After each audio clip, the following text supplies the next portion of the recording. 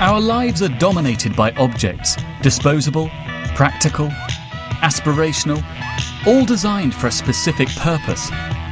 But the design icons of today have at their heart the principles of one revolutionary designer.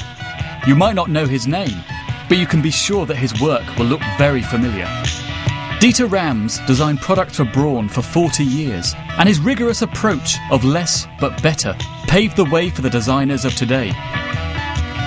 When Dieter Rams first joined Braun, they were a small electronics company making radios and shavers. Within one year, he had revolutionized their products, and his epoch defining 10 principles of good design were already taking shape.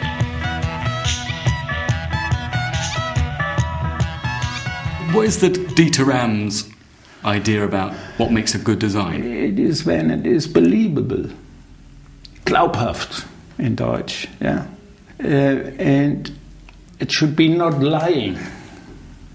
And I was always saying you can tell the companies who taking design really honest on your 10 fingers. And no change today.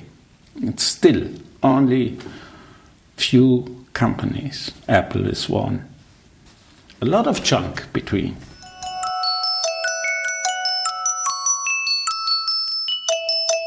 Rams' principle of honesty in design means a product doing exactly what it says on the tin, something that's been embraced by Apple Mac. Jonathan Ive, Apple's head designer, is one of Rams' most ardent admirers, and even used the classic Braun calculator as the template for the iPhone app.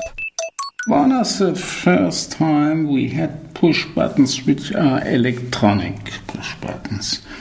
I hate all the word ending with isms, functionalism. It's terrible. Nationalism is terrible. A lot of words ending ism. But functionality, it's important. And it looks so similar if you compare it, say, to today to a, an Apple iPhone. Yeah, They've, they've taken your design.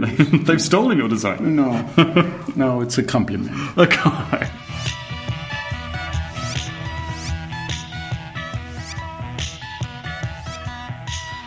Rams' designs stretched beyond the world of consumer electronics.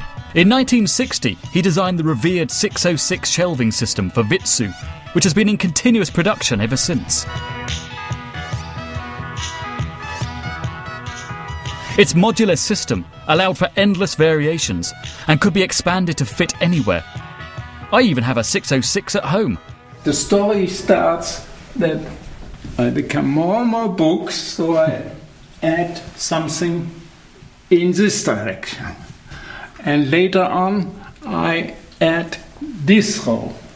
And the idea of it to be to be a, piece of furniture that you keep through your whole life, instead of just Yeah. going to IKEA and buying Exactly, something yeah. that you'll throw away five years yeah. later. You should design furniture not only for two or one or three years. You should design that for your whole life.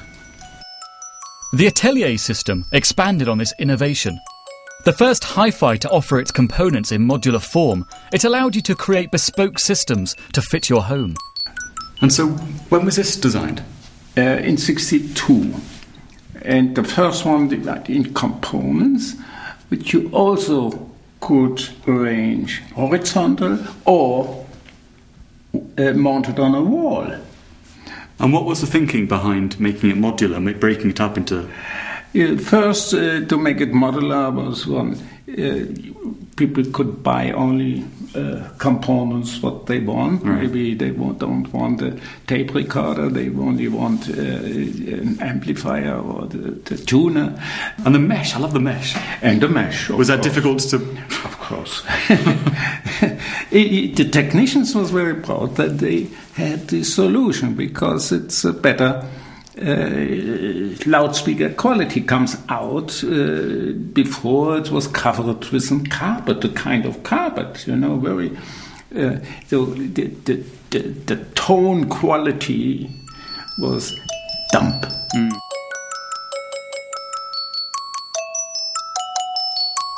Rams applied his 10 principles of good design to every one of his designs for Braun. By 1995, when Rams retired from the company, millions of homes worldwide contained a little piece of his design ideal. Oh, I can't believe it. I had one of these and I never knew it was yours. Yeah. yeah. And the toothbrushes yeah, yeah. for Oral-B. All your work.